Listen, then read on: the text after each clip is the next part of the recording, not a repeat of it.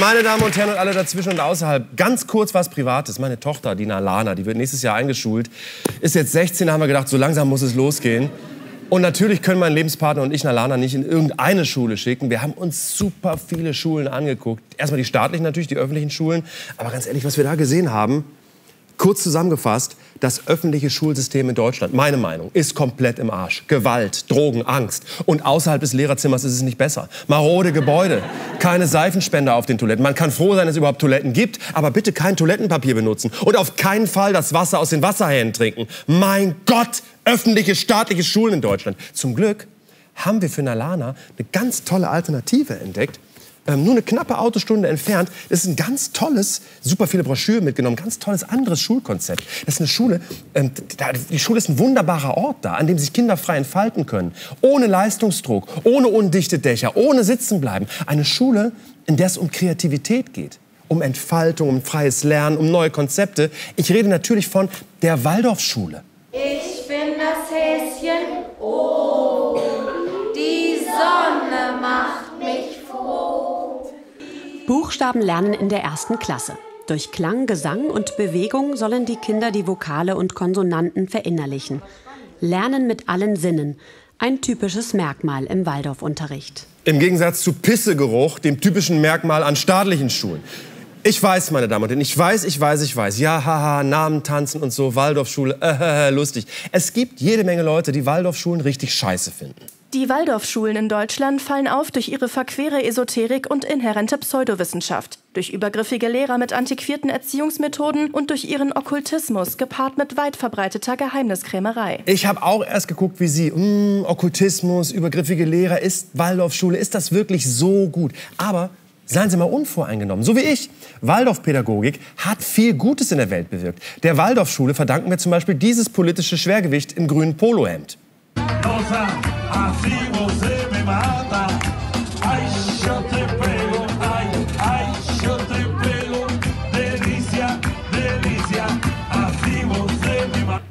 Boris Erasmus Palmer. Wirklich wahr, der gute Mann heißt Erasmus mit zweitem Namen. Boris Erasmus Palmer. Waldorfschüler, Oberbürgermeister von Tübingen und der rechteste Grüne seit ihm hier. Some Buddies once told me, dass Waldorf, Waldorfschulen Privatschulen sind. Waldorfschulen sind Privatschulen und eine echte Alternative zum höllischen öffentlichen Schulsystem. Die Waldorfschule ist eine Privatschule. Warum auch nicht? Es gibt schließlich ein Recht. Es gibt ein Recht auf Privatschulen. Sekunde, Artikel 7, hier. Das Recht zur Errichtung von privaten Schulen wird gewährleistet. Ganz genau. Klar, müssen mein Lebenspartner und ich ab nächstem Jahr dann jeden Monat 400 Euro Schulgeld überweisen. Aber Waldorfschulen fördern Kinder ganz anders als diese fürchterlichen öffentlichen Schulen. Ums Fühlen und selber tun geht's auch beim Gartenbau. In staatlichen Schulen, wenn überhaupt, ein AG-Angebot. Hier gehört es in der Mittelstufe fest zum Stundenplan. Auch Holzwerken ist ein reguläres Fach. Handwerklicher und künstlerischer Unterricht nimmt in der Waldorfpädagogik einen großen Raum ein. In manchen Waldorfschulen gibt es sogar Streichelzoos, aber keine Noten bis zur Oberstufe. Und da haben wir und Nalana uns gedacht, hm, Sounds like fun. Und wir sind nicht die Einzigen. Über 250 Waldorfschulen gibt es heute in Deutschland. Mehr als doppelt so viele wie vor 30 Jahren. Aber auch kein Wunder bei dem tollen pädagogischen Konzept. Finanziert über das Schulgeld von uns Eltern, denkt man erst, aber es ist total geil. Den größten Teil der Kosten übernimmt trotzdem der Staat. 5 Milliarden Euro Steuergelder sind in den letzten zehn Jahren in die deutschen Waldorfschulen reingeflossen. Aber es lohnt sich ja auch. Schauen Sie mal, hier, schauen Sie mal. So kann Schule aussehen. Sehen die Kinder nicht glücklich aus? Sind das nicht tolle Bilder? Träumt man nicht von einer Schule, die so ist? Ganz ehrlich, meine Damen und Herren, mich, mich fasziniert die Waldorfschule. Mich fasziniert vor allen Dingen, dass es, dass es ein ganzheitliches Konzept ist, das leider, das leider, leider immer wieder missverstanden wird. Entgegen dem allgemeinen Vorurteil gibt es an Waldorfschulen durchaus auch rechte Winkel. Es gibt sie nur nicht ausschließlich, sondern unter anderem. Die Vielzahl an unterschiedlichen Winkeln soll dazu anregen, den Blick schweifen zu lassen, damit sich das Auge auch einmal ausruhen kann. Hä? Ich habe immer gedacht, wenn sich das Auge ausruhen soll, sollte man den Blick möglichst nicht schweifen lassen. Ich habe zum Auge ausruhen immer Aspekte geguckt bislang. Aber naja, warum nicht mal was Neues ausprobieren? Einfach mal, einfach mal weg mit den rechten Winkeln. Why not?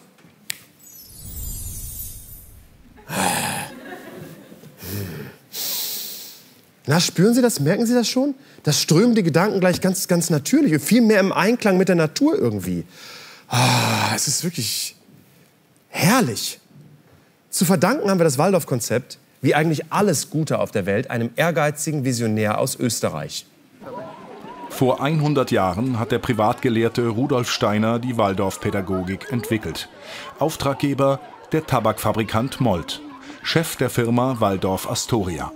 Molt wollte eine Privatschule für die Kinder seiner Mitarbeiter gründen. Rudolf Steiner, der Erfinder der Waldorfschule. Eine Schule benannt nach einer Zigarettenfirma. Waldorf Astoria. Waldorf Astoria. Zigaretten. In deren Auftrag hat sich Rudolf Steiner die Waldorfschule ausgedacht. Rudolf Steiner war Privatgelehrter, er war Hellseher und er hat super viele Vorträge gehalten. Der war sowas wie der Richard David Precht der vorletzten Jahrhundertwende. Und Rudolf Steiner hat sich nicht nur ein Schulkonzept ausgedacht, sondern sogar eine eigene Weltanschauung, die Anthroposophie. Rudolf Steiner muss ein charismatischer Mann gewesen sein. Viele Anthroposophen sehen in ihm bis heute einen spirituellen Führer. Sein Porträt, das ihn mit dichtem Haar und ernstem Blick zeigt, hängt wohl in fast jeder Waldorfschule. Anthroposophie. Ähm, ich äh, muss ehrlich, ehrlicherweise sagen, ich kenne mich da jetzt nicht so ganz so aus irgendwie. Äh, Anthroposophie. Liebe Kinder, kann mir das jemand mal erklären, bitte? Also, ich erzähle euch heute was über Anthroposophie. Die wurde erfunden von Rudolf Steiner. Rudolf Steiner hat gesagt, er ist ein Hellseher. Er hat so Sachen gesehen. Um uns herum sind Engel, Dämonen und Gnome. Die sehen aber nur Hellseher wie er. Das hat er alles erzählt. Überall. Weil Rudolf Steiner war echt viel unterwegs. Er hat das mit unserer Erde erklärt. Erst gab es den alten Saturn, dann die alte Sonne, dann den alten Mond, von dem die Erde dann die Wiedergeburt ist, sagt Rudolf Steiner. Und wenn die Erde stirbt, wird sie irgendwann zum Planeten Vulkan. Aha.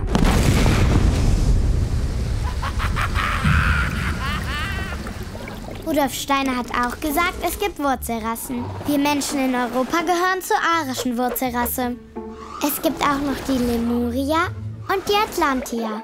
Aber die sind weiterentwickelt, sagt Rudolf Steiner. Dann hat Rudolf Steiner noch hell gesehen, dass Menschen sich alle sieben Jahre verändern. In den ersten sieben Jahren kann man nicht so gut denken und hat nur einen physischen Leib, sagt Rudolf Steiner. Aber ich habe schon einen Ätherleib, weil ich bin schon zehn. Dann hat Rudolf Steiner noch die Sache mit dem Karma hell gesehen. Das geht so. Dein Karma ist gut, wenn du nett bist. Machst du schlimme Sachen, wirst du im nächsten Leben zur Strafe krank. Deshalb ist mein Onkel selbst dran schuld, dass er an Krebs gestorben ist, findet Rudolf Steiner. Dann hat Rudolf Steiner noch an die vier Temperamente geglaubt. Die heißen Choleriker, Sanguiniker, Phlegmatiker und Melancholiker. Wenn einer ganz gebückt läuft und ein mageres Gesicht hat, dann ist das ein Melancholiker. So wie zum Beispiel Jan Böhmermann. Das ist Anthroposophie. Hat noch jemand Fragen? Nein, keine weiteren Fragen. Also ich weiß, das mit den, mit den Ariern und den Gnomen, das klingt alles ein bisschen weird. Aber das wird ja so nicht in der Waldorfschule unterrichtet. Die anthroposophischen Konzepte sind nicht Unterrichtsinhalt, sondern elementarer Teil des Menschenbildes und der Unterrichtsmethoden. Die Fächer und ihre Inhalte werden durch den Filter der Anthroposophie an die Kinder herangetragen. Anthroposophie steckt in der Waldorfschule nämlich überall mit drin. So wie Palmöl oder Kermit. Ah! There's something in there! What is going on?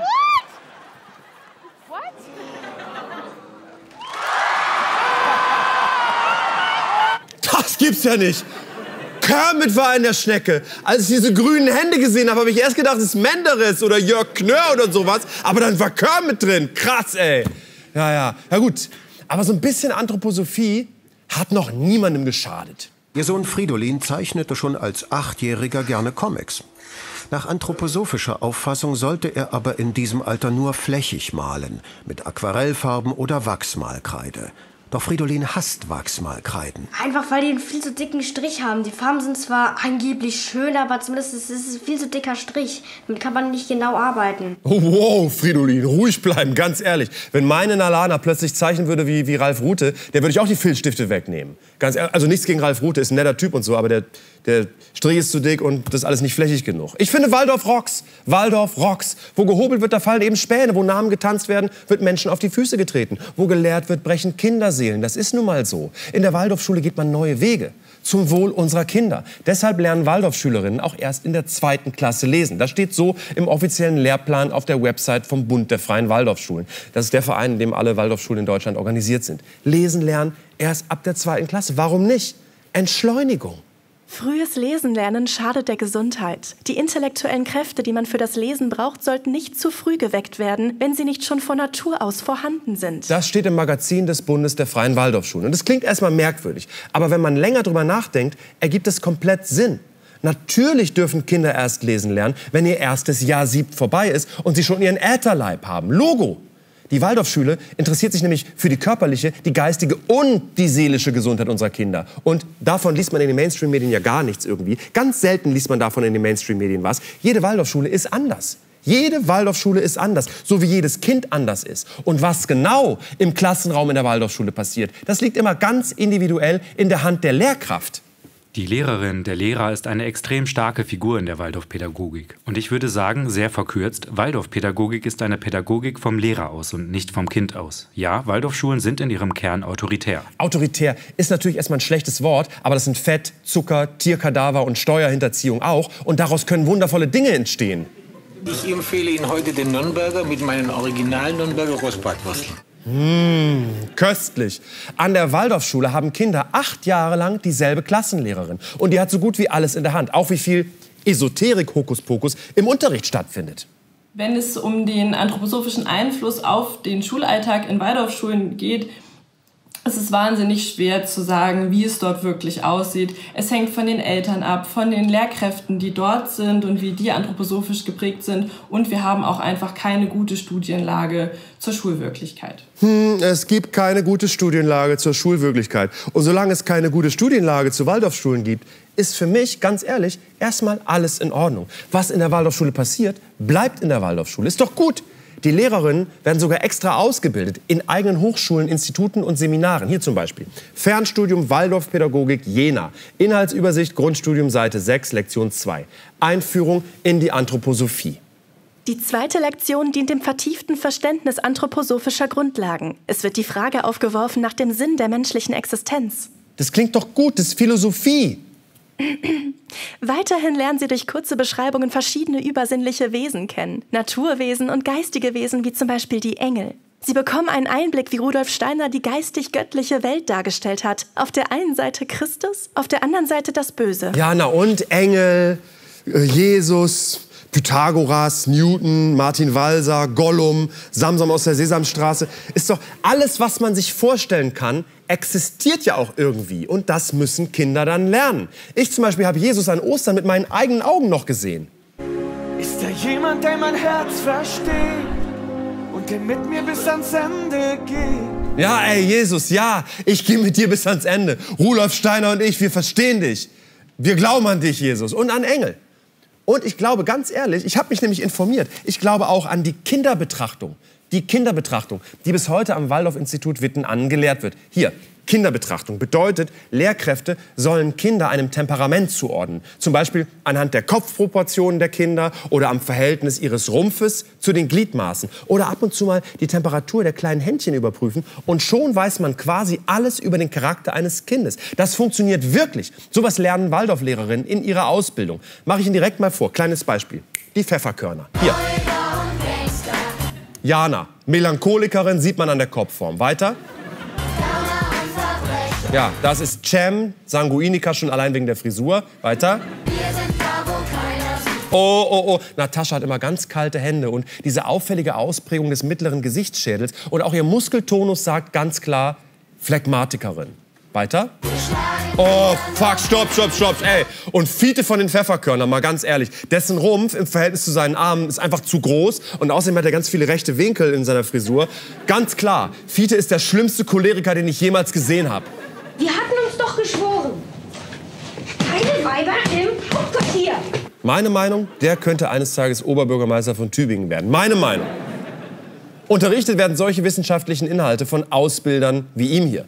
Wolfgang Weihrauch. Lassen Sie sich nicht täuschen, auch wenn er aussieht wie der Reservebassist aus Reinhold Beckmanns Band. Dieser, dieser Mann hat sich Inhalte für das Fernstudium Waldorfpädagogik Jena ausgedacht. Weil Wolfgang Weihrauch kann mit geistigen Wesen sprechen und mit Bäumen und sogar mit Küchenkräutern. Wolfgang Weihrauch hat zum Beispiel mal mit einem Thymian ein Interview über Gnome geführt. Welche Verbindungen hast du zur Erde und vor allem auch zu den Gnomen? Ich bilde zwar keine Pfahlwurzeln, sondern eher relativ flache, trotzdem kann ich mich an Stellen im eher gebirgigen Gebiet gut festhalten. Hierbei helfen mir die Gnomen. Ich kommuniziere mit ihnen über die Wurzeln. Ist doch interessant und lehrreich, wie Thymian mit Gnomen so zusammenarbeitet. Ich habe das nicht gewusst. Und ich weiß, das wirkt jetzt auf nervige Kritiker, die sich noch nicht genug informiert haben, vielleicht alles ein bisschen unseriös. Aber solche Inhalte sind garantiert wissenschaftlich, weil, ich sag nur hier, ah, Grundgesetz. Die Genehmigung ist zu erteilen, wenn die privaten Schulen in ihren Lehrzielen und Einrichtungen sowie in der wissenschaftlichen Ausbildung ihrer Lehrkräfte nicht hinter den öffentlichen Schulen zurückstehen. Wenn Gnome oder Engel oder das Temperament eines Kindes anhand seiner Kopfform bestimmen, wenn das nicht wissenschaftlich wäre, dann bekämen Waldorfschulen doch gar keine staatliche Genehmigung. Ah, ah, Schachmatt, Mic Drop. Es gibt so viele Leute, es gibt aber immer noch so viele Leute, die die Waldorfschule trotzdem schlecht reden und kritisieren.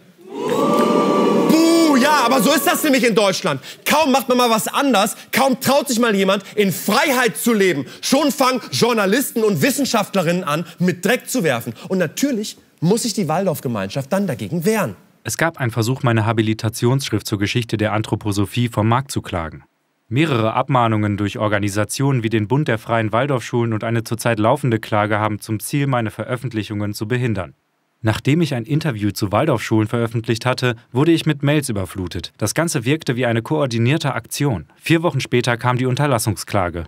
Macht mich so wütend. Waldorfschulen sind seit Jahren Opfer der brutalsten und rücksichtslosesten Faktenhetzkampagnen. Ach, was sage ich? Der Fakteninquisition. Und darum bekommen Waldorfkritiker immer ganz viele Abmahnungen zugeschickt. Haha, auf Zetteln, die nicht flächig bemalt sind und eins, zwei, drei, vier rechte Winkel haben, damit sich deren Augen nicht ausruhen können zur Strafe. Das macht mich so wütend, wie alle immer die Waldorfschulen kritisieren. Brauche ganz dringend jetzt, ich reg mich so auf, ich brauche ganz dringend erstmal Agentum nitricum in der Potenz D6 gegen Aufregung, Schulangst und stechende Schmerzen in der Gebärmutter. Muss man aber vorsichtig dosieren, weil die wirken über den Placebo-Effekt hinaus. Genau wie Anthroposophie oder die Waldorfschulen. Mm. Mm.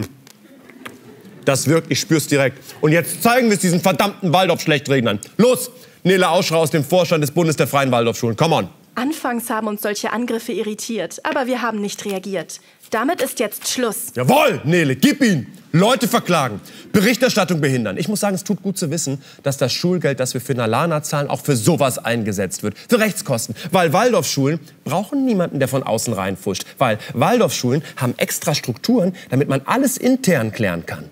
Als freie Schulen haben die Waldorfschulen die hierarchisch organisierte Außenlenkung der staatlichen Schulen durch eine freiheitliche Verfassung ersetzt. Die Selbstverwaltung erfolgt durch Eltern und Lehrerinnen und Lehrer gemeinsam. Genau, Selbstverwaltung statt staatliche Außenlenkung. Und zwar freiheitliche Selbstverwaltung. Ganz anders als da draußen in Deutschland, das übrigens bis heute keinen Friedensvertrag mit den Alliierten geschlossen hat. Ich weiß nicht, ob Sie das wussten. Wenn es Stress gibt, klären wir das in der Waldorfschule unter uns, ganz im Sinne von Rudolf Steiner. Schweigen wir über alles das, was wir handhaben in der Schule. Was in der Waldorfschule bleibt, bleibt. Was in der Waldorfschule passiert, bleibt in der Waldorfschule. Es ist wie in der katholischen Kirche oder in der Colonia Dignidad oder in der Manson Family. Die Probleme in der Waldorfschule gehen niemandem da draußen was an. Darum ist es echt ärgerlich, dass das ZDF-Magazin Royal folgenden vertraulichen Klassenbrief eines Waldorflehrers an die Eltern seiner fünften Klasse von einem Gnom gesteckt bekommen hat. Am Mittwoch war es das erste Mal so, dass die Kinder das Thema Impfen thematisierten. Ich sage dann natürlich, dass die Eltern das entscheiden müssen. Auf jeden Fall betone ich aber immer auch seit Anfang der Pandemie, dass sie bitte wirklich keine Angst davor haben sollen, weil Kinder fast nie ernsthaft krank daran werden. Ich betone stets die Stärke, die unser Abwehrsystem hat, wenn wir ein mutiges, frohes Leben ohne Angst führen. Ein mutiges, frohes Leben ohne Angst. Das klingt doch erstmal gut. Liebe wird aus Mut gemacht. Das wusste schon Nena. Und Mut und Liebe sind das beste Mittel gegen Corona. Haben mir heute Morgen der Kerbel und der Oregano erzählt. An der Waldorfschule hilft gegen eine Pandemie Mut und Liebe und demonstrieren. Hier noch eine interne Mail.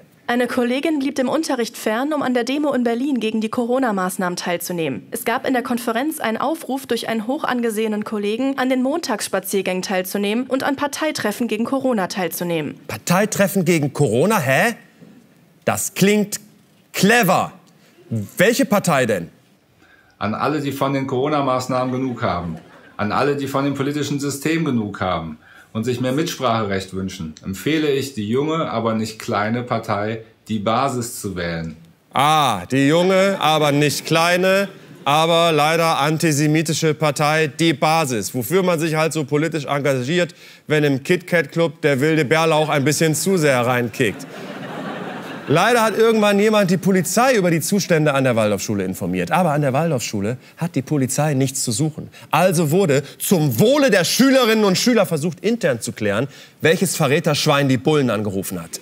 Der Polizeihinweis ist ein beispielloser Akt in unserer Schulgeschichte. Und es bleibt die offene Frage. Was waren die Motive der Personen, die gegen KollegInnen denunziert haben und den Schulorganismus in eine Verratssituation geführt haben? Einfach nur peinlich. Den Waldorf-Lehrerinnen ist absolut nichts vorzuwerfen. Hier noch ein internes Dokument. Einige Lehrer waren aber auch hier klar übergriffig. Es wurden Kindern Masken runtergezogen oder es wurde versucht, das Tragen anderweitig zu unterbinden. Mm -mm -mm. Alles Einzelfälle. Und Einzelfälle bleiben Einzelfälle, auch wenn sie immer wieder passieren. Rechter Lehrer an Waldorfschule Minden. Nach langem Konflikt verlässt ein Lehrer mit engen rechtsradikalen Verbindungen die Schule. An einer Waldorfschule wurden Schüler über Jahre hinweg systematisch missbraucht. Doch Lehrer, Eltern und Schulleitung schauten weg. Jahrelang sollen Lehrer der Freien Waldorfschule Weimar Gewalt gegen Schüler ausgeübt haben. Nee, nee, nee. In der Waldorfschule müssen sich Kinder eben ganz natürlich, im Grunde wie in der Natur, also in einer Art natürlicher Auslese durchsetzen. Und wenn mal was schief läuft, dann haben sich die Waldorfschulen eine perfekte Struktur geschaffen, damit niemand was davon mitbekommt. Und darum würde ich mich wahnsinnig freuen, wenn Sie auch vielleicht mal drüber nachdenken, ob das nicht auch was für Sie wäre oder Ihre Kinder. Die Waldorfschule würde mich freuen, wenn wir uns da ab nächsten Sommer sehen, in einer Waldorfschule in Ihrer Nähe. Und wer sich für die Einordnung der gelenkten Mainstream-Medien zum Thema Waldorfschule interessiert, das müssen wir der Vollständigkeit halber sagen, der kann sich jetzt über diesen Link hier eine tolle Recherche von Krautreporter reinfahren, muss aber nicht sein, weil die Informationen, die ich verbreitet habe, sind eigentlich ausreichend.